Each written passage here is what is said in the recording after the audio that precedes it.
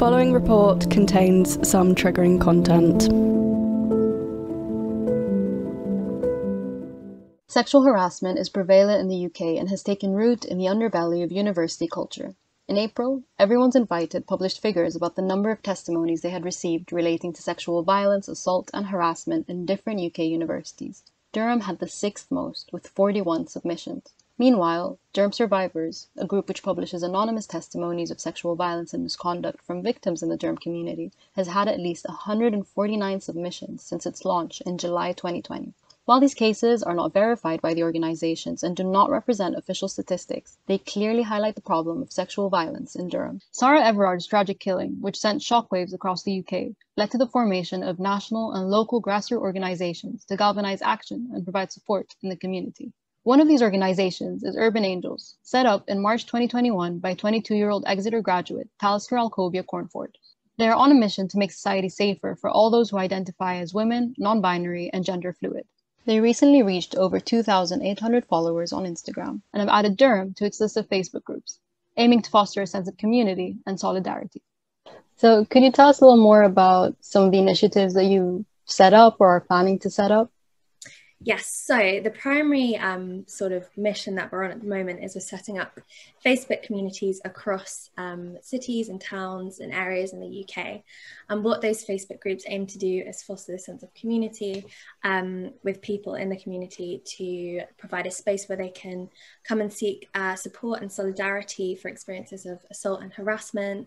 They can come and share alerts. So let's say they experience or witness harassment in their area, they can put it in the group with the hopes that others can then avoid it. And also a space where we can kind of work together to think of ways to help make our community safer, whether that be a walking scheme or better street lighting um, or better communication with um, organisations like hotels and bars and restaurants. And I guess some of the main things that we're looking to do um, in sort of the physical space rather than the virtual world is setting up a walking initiative whereby there'll be mm. volunteers on um, every night of the week that you can call to walk you from point A to point B, whether that be from a nightclub home or to the library or to a friend's prees or whatever it might be.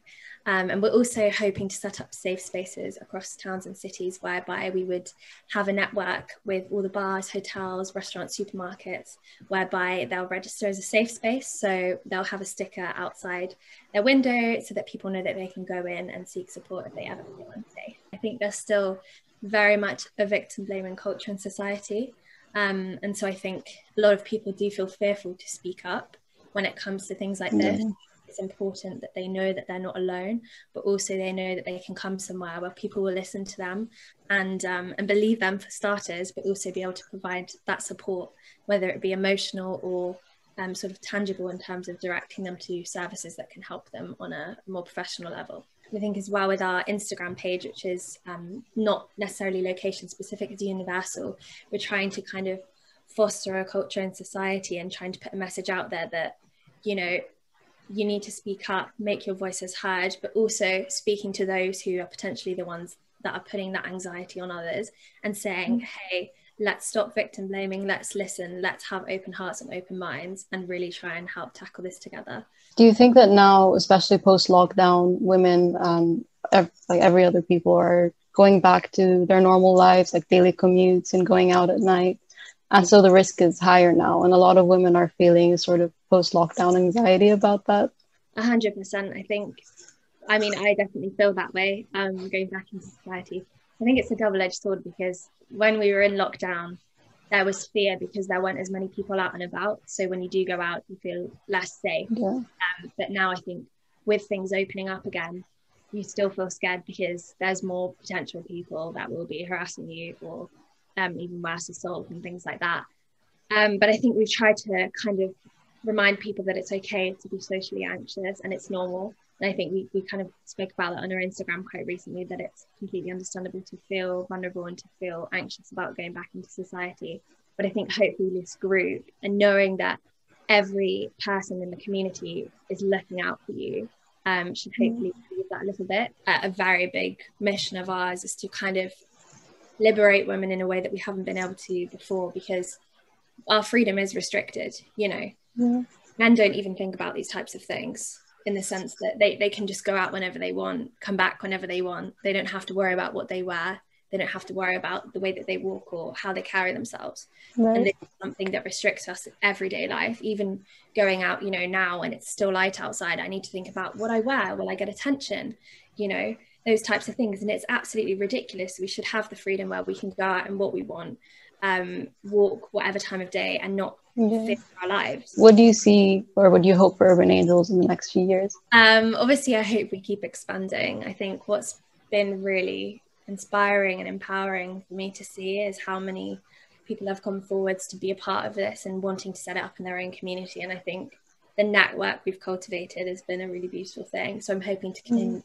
continue to grow that, um, both in, in the UK but also abroad and I think um, flesh out some more of our initiatives. Um, for example, the walking scheme, we're piloting it in Exeter, but I'd hope to get that to all cities. Obviously, there's logistical, operational, and funding things that have to mm. go into that. that. That's a name.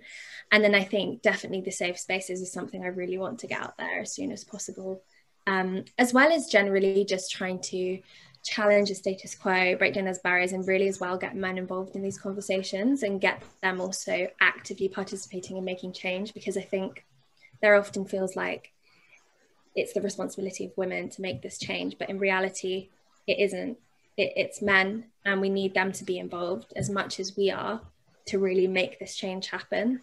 So I think trying to get all genders involved in these conversations and everyone feeling like they have responsibility for this. Is there anything that you would like to say to anyone who wants to get involved with Urban Angels? What are the sort of steps that they should take to be an active member of the group? Obviously, we encourage everyone to be involved, um, irrespective of your gender.